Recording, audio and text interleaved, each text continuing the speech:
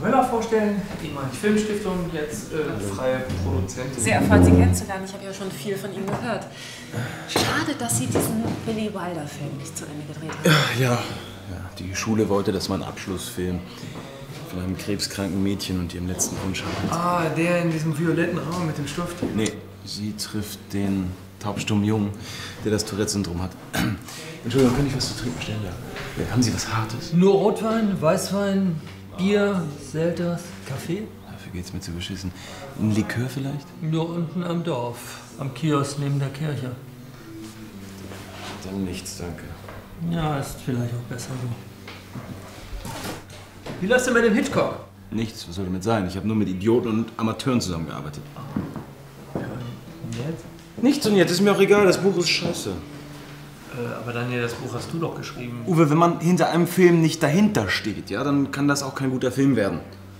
Ich habe dieses Projekt nur gemacht, weil Jan da ganz tolle Bilder gesehen hat. Kennen Sie eigentlich die Insel Usedom? Hey, du bist auch hier? Georgie! Wir haben sie ewig nicht gesehen. Na, wie geht's? Ja, wir haben uns nicht mehr gesehen seit... Fotex, ja. Hi! Äh, ja, setz dich doch. Moment, ist das der junge Mann, der meine Idee verfilmt hat? Möller. Was für eine Idee verfilmt hat. Hör nicht auf ihn, er ist sauer, weil er sich selber von seinem eigenen Set runtergeschmissen hat. Ich habe mich nicht von. Also ich habe das mit dieser Branche immer so gesehen. Du schwimmst in einem Atoll zwischen ganz vielen kleinen Inseln. Und auf jeder dieser Inseln erwartet eine richtig tolle neue Aufgabe auf dich. Du musst eben immer wieder ins kalte Wasser springen und zusehen, dass du die nächste Insel erreichst. Auf dem Weg, da musst du noch aufpassen, dass dir die Haie nicht in den Arsch beißen, dass du keinen Krampf kriegst, was weiß ich. Aber egal. Du immer weiter schwimmst, dann kommst du früher oder später auch irgendwann wieder an Land. Mein Reden. Kennen Sie die Insel Usedom? Was redest du da eigentlich für einen Schwachsinn? Warum muss man denn ins Wasser springen? Man kann doch auch ein Boot nehmen, oder nicht? Ja, was für ein Boot? Da gibt's kein Boot. Wenn du ein Boot haben willst, dann musst du dir eins bauen. Ja, oder du kaufst halt eins. Ja, aber da gibt's kein, kein Boot-Kaufhaus. Ich finde, dass ganz schön viele andere Leute Boote haben. Ja. Fatih Akin, der hat einen riesen Teil. Der schwimmt auch nicht in dem Atoll. Der hat seine Geschichten wenigstens immer platzieren können. Der hat halt immer die richtigen Connections. Was ich damit sagen will, ist, es tun sich immer wieder neue Möglichkeiten auf. Seht mich an. Eine Zeit lang war ich echt auf dem Tiefpunkt. Also in meinen Filmen, da habe ich nichts gerissen. Ich glaube, das Wort Durststrecke, das habe ich völlig neu definiert. Und jetzt? Jetzt zeige ich Filme in meinem eigenen Kino und demnächst habe ich sogar ein richtig cooles Festival dann. Jeder findet irgendwann seinen Weg, seine Bestimmung. Ja, wenn er seine wahre Bestimmung wirklich kennt. Wenn er endlich herausfindet, was wirklich wichtig ist im Leben. Richtig. Und ich werde Vater. Ist das nicht toll? Ja. Gratulation, ich hatte ja nie Zeit für sowas. So, ich hatte Uwe gerade ein Drehbuch von mir vorgeschlagen und ich könnte mir gut vorstellen, dass du das toll inszenieren könntest. Es geht da um eine Witwe auf der Insel Usedom. Prioritäten muss man setzen und seine wahren Aufgaben erkennen. Nicht sein Leben lang irgendwelchen Träumen hinterherjagen. Ich habe doch schon mal versucht aufzuhören, aber es hat ja nicht geklappt.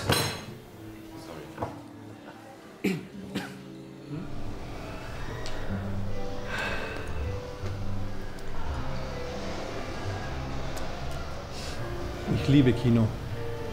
Manchmal komme ich und ich schaue mir drei Filme hintereinander an. Für viele ist das ja nur ein Freizeitvergnügen.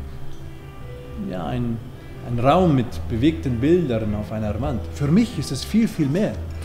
Sie lachen. Ja, jetzt spielen Sie mal nicht den geheimnisvollen Verführer. Das ist wirklich nur ein Raum mit bewegten Bildern. Ihre direkte Art. Ich mochte die von Anfang an. Hier ist meine direkte Art. Wer ist dieser Prinz? Warum hat er keinen Namen? Warum kommt er nicht nach Deutschland? Direkte Antwort?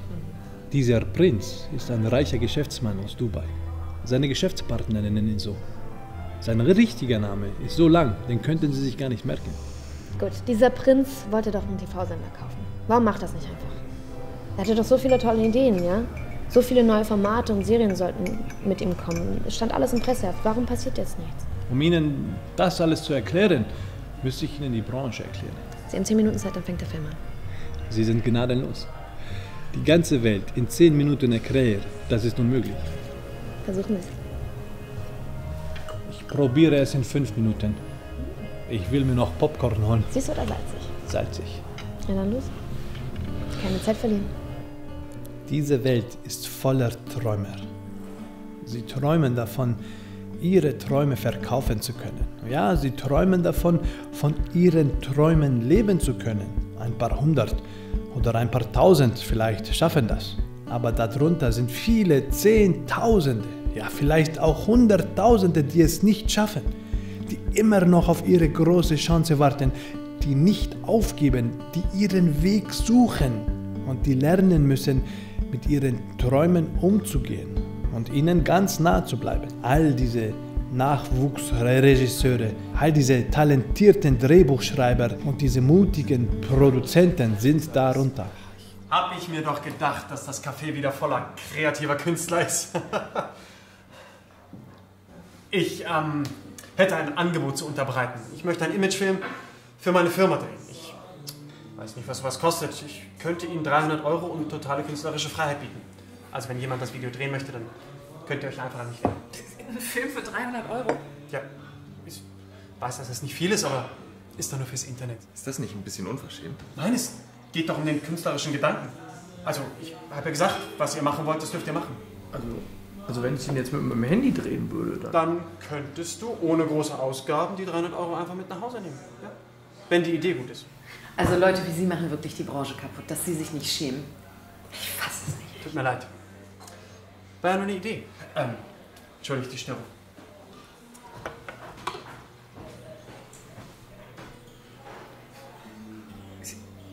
Also, sowas habe ich ja noch nie erlebt. Ich glaube, ist schon ganz schön spät, ne? Ich habe nämlich noch einen Termin in der Stadt. äh, Ich muss los. Macht's gut. Wir telefonieren, Uwe. Tschüss.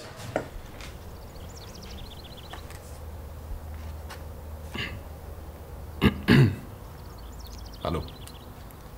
Ich hätte da eine Idee, also. Ich, würde dir den Film machen. Wenn du Interesse hast. Ja.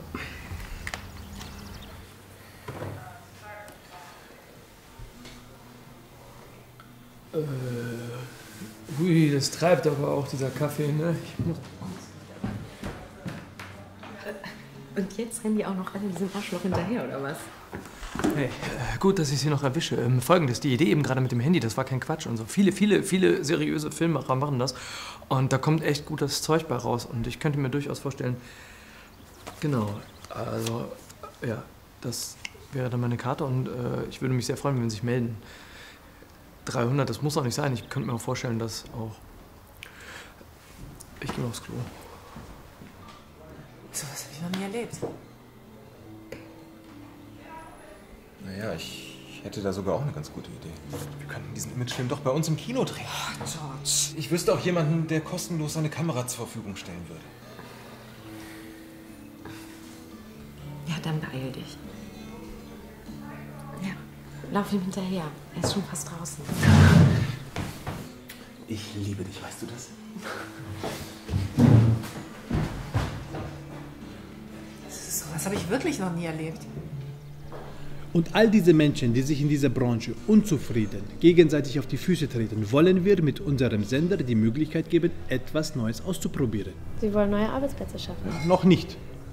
Also noch nicht so viele. Ja, aber Sie wollen was Neues aufbauen. Wie soll das aussehen? Das weiß ich noch nicht.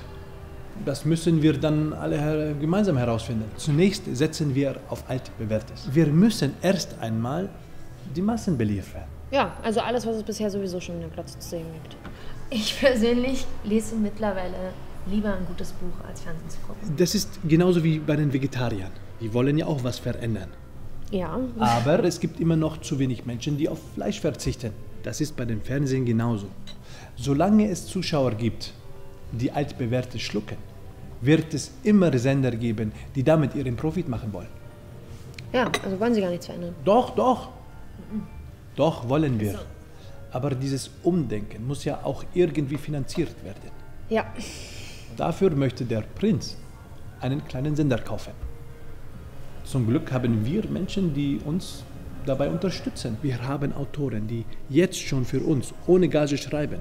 Wir haben Regisseure, die für wenig Geld Pilotprojekte für uns drehen. Und wir haben Schauspieler, die auf Rückstellung Rollen übernehmen. Sie sehen, wir sind voll dabei. Das ist doch gut. Ich- Wir machen Projekte und bieten Chancen. das darf ich mir gar nicht vorstellen. Wenn, wenn wir Übersetzer nach Projekten gehen würden, dass ich auf meine Bezahlung verzichten würde, nur weil ich hoffen würde, dass dieser Prinz ein toller Typ sein könnte. Jede Branche braucht ihre kostenlose Leiharbeiter. Kostenlose Es Leiharbeiter. ist schon im vollen Gange. Die Büros füllen sich, die Telefone klingeln. Alle setzen ihre Hoffnung auf uns. Wir benötigen nur noch eine Sendelizenz. Und dafür will der Prinz einen kleinen Sender kaufen. Was für ein Sender? Einen äh, dieser Shopping-Kanäle. Oder diese Wahrsager-TV-Sender. Er hat schon einen im Auge, der verkaufen möchte. Dafür wird der Prinz jetzt nach Hamburg kommen. Bis zum Winter will er alles unter Dach und Fach haben. Und dann, meine Liebe, haben ihre zarten Hände viel zu tun. Ich hoffe, der verkauft nicht. Was? Ja, ich hoffe, der verkauft nicht. Es muss doch auch irgendwie noch anders laufen können. Man kann keinen Sender auf den Schultern anderer aufbauen. Oh doch. Nein. Das kann man. So, und ich schaue mir jetzt einen guten Film an. Einen Film, der rein industriell produziert wurde. Ganz ohne Träumerei. Kommen Sie mit? Einmal Popcorn bitte mit Salz.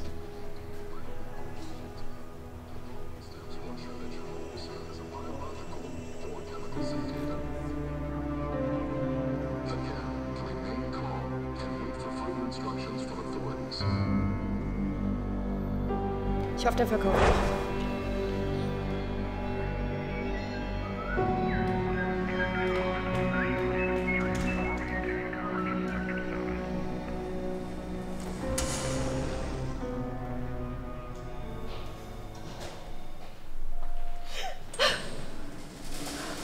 Ich habe Shorty leider nicht erreicht, aber der rückt alles wieder gerade, wenn er wieder hier ist. Schon komisch, oder? Ich meine, erst ist der Chef weg und jetzt ist der andere nicht da, wenn der Chef wieder zurückkommt. Ich mag diese Firma. Vielen Dank. Ich wusste es ja schon vorher. Und Jens wird sich noch wundern. Dass du das wieder gewusst hast? Geil. Also, glaub uns bitte, aber wir wussten nichts. Ich werde von zu Hause weitermachen. Ich habe so viele Kunden. Hey Mädels! Schön wieder hier zu sein. Was ist denn los? Warum guckt ihr denn so betröppelt? Papi ist wieder da, freut euch mal ein bisschen, alles wird gut. So Süße, du kommst gleich mit ins Büro. Svenja, du fährst nach München und äh, Olivia. Alles Gute da draußen.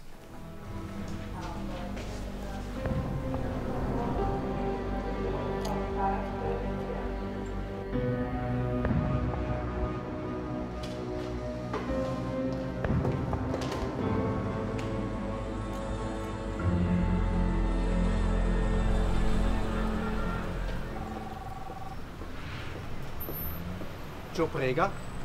Ja, servus, Michi. Ja. ja, schau, Michi. Mit der Liebe, das verhält sich so wie mit einer Türe, die geöffnet werden muss. Verstehst? Aber Vorsicht. Es gibt auch Türen, die nicht gut sind. Es gibt böse Türen. Mhm. Boah, mit der Liebe, das ist eher wie mit einem langen, dunklen Flur, in dem man sich verlieren könnte. Kapierst du nicht? Gorweiler ist mit einem großen Format im Gespräch. Hörst du überhaupt zu? Ja, das ist schon klar, Michi. Das du und die Martina, äh, die, die äh, Michaela. Was? Ja, die Manuela, wieso zirkt die schon bei dir ein? Das verstehe ich nicht, das ist ja Blödsinn. Ach, wurscht. Weißt die Liebe, das ist wie ein Kühlschrank, wie ein leerer Kühlschrank. Aber oftmals ist sie unterkühlt, verstehst Oder wie eine leere Wohnung.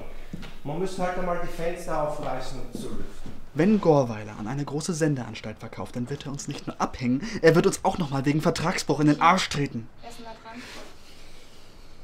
Nein, nein, ist schon klar, Michi, ich hab dich schon verstanden. Mhm. Du, ich kenne ja ihren Vater aus dem Golfclub. Ja, aber die mag ich nicht. Jetzt sucht er endlich eine andere. Sonst kommst du noch mehr auf komische Gedanken, von wegen Familie und so ein Schaf. Sag mal, kannst du mal aufhören, über meine Freundin zu quatschen? Ich habe Insiderwissen, wir müssen reagieren. Jetzt! Du knickst schon wieder mit deiner Ex oder was? Sag mal, ich versuche gerade ein Businessgespräch führen. Könnt ihr das beide mal kapieren? Okay, okay. Du hör zu. Ich werde morgen meine Leute ansetzen, dass sie die Rechte von den Japanern kaufen. Gorweiler möchte billig kopieren. Nein. Das Original wird nur unser scheiß Budget sprengen. Michi, jetzt beruhig dich einmal. Ich bin gerade erst in Berlin angekommen, habe noch nichts gegessen und werde morgen im Büro sofort loslegen. Vertrau mir. Ja, dann mach das mal. Liebe ist, wenn man nicht mehr warten kann. Michael?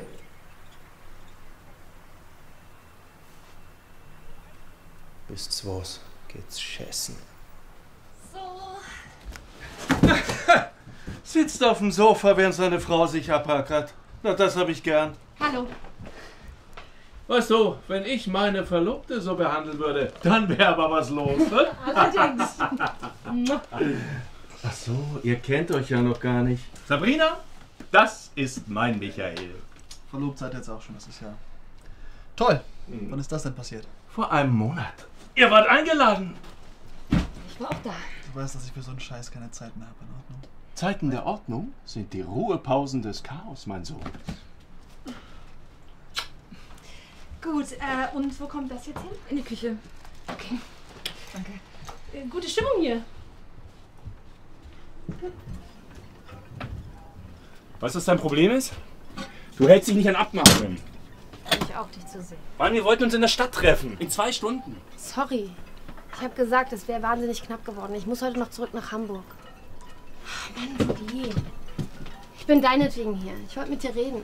Mir geht's gerade nicht so gut. Ich habe meinen Chef im, im Kino sitzen lassen, weil ich nicht mehr weiß, wo oben und unten ist. Wart im Kino, super. Hm. Genau. Darüber wollte ich mit dir reden.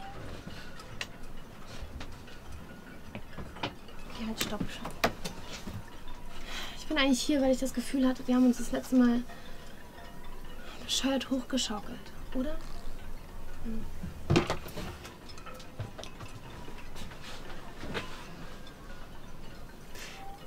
Ich hatte das Gefühl, es war wie ein Verkehrsunfall in Zeitlupe. Schwerer Verkehrsunfall. Scheiße. Ich hätte wahrscheinlich einfach sagen sollen, ich komme mit dir mit nach Ruanda. Yay.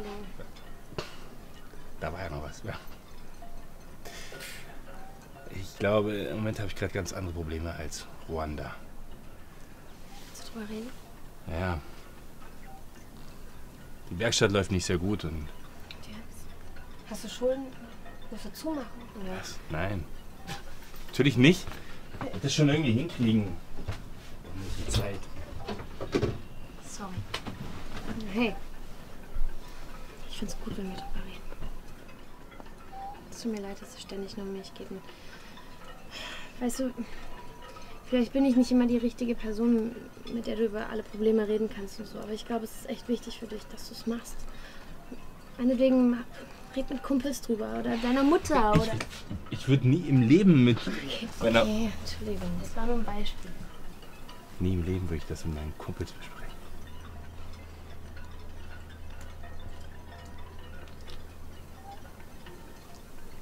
Ach Mensch. Früher, da habe ich immer gesagt, zeig mir dein Bücherregal und ich sag dir, wer du bist. Wo habt ihr euch denn kennengelernt? Ah, The Wire. Sopranos. Schwarzwaldklinik, geil. Sag mal, wusstest du eigentlich, dass deine Vorgängerin noch jünger war als du? Na klar weiß ich das. Sie ist meine Schwester. Aber weißt du, sie hat es aber nicht ausgehalten. Und da hast du ihn dann getröstet, oder was? Sag mal, merkst du das nicht? Der Mann ist alt und hässlich. Also hört bitte immer auf so zu tun, als ob er irgendwie so ein süßer Student wäre oder sowas. Dad, es ist ekelig. Oh, ich kotz gleich. grünen Wiese hab ich sie gefragt. Wer- da- da- ich muss noch den Transporter umpacken. Kommst du mit? Meinst du wirklich, dass wir die beiden alleine lassen sollten? Aber ja, das müssen wir sogar. Vertrau mir. Vertraue mir. Vertraue mir.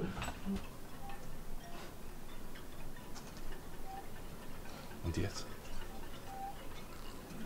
Fährst du wieder zurück? Ich denke schon. Meli kann mir nur einen halben Tag freigeben. Das ist der Prinz. Nee, ist sein Assistent, aber mein Chef. Und den hast du jetzt im Kino sitzen gelassen. Genau. Mit mir warst du nie im Kino. Ja, wie ist er denn so, unser Medikus? Hm? Worauf willst du hinaus? Erzähl doch mal. Da ist nichts. Der ist nett. Oberflächlich nett. Er ist, ist ein knallharter Geschäftsmann. Ich will nichts von dem. Das klingt irgendwie komisch, wenn. Du hast doch erzählt, dass du da eigentlich gar nichts zu tun hast, oder? Ja, also, nein. Ich habe schon. Nein, gerade nicht. Das heißt also, dann bist du so eine Art Bürodeko für die Jungs, wenn die morgens zur Arbeit kommen. Ja, genau. Ja, vielleicht hat er ja dein Foto aus der Bewerbung gesehen und sich gedacht, hey, Die kleine Süße mit dem Röckchen, die könnte doch ein schönes Pin-Up-Poster sein für die Jungs aus dem Büro. schon mal drüber nachgedacht? Was soll denn das jetzt? So langsam weiß ich, glaube ich, was dein Problem ist. Du bist eifersüchtig. Eifersüchtig. Auf den Märchenprinzen. Okay. Das bringt jetzt nichts mehr, ne? Wenn du doch nochmal mit mir reden möchtest, ein ganz normales Gespräch führen möchtest, ohne dass du verletzend wirst, ruf mich einfach an. Mann, jetzt warte doch mal. Agnes! Dafür bist du jetzt hergekommen?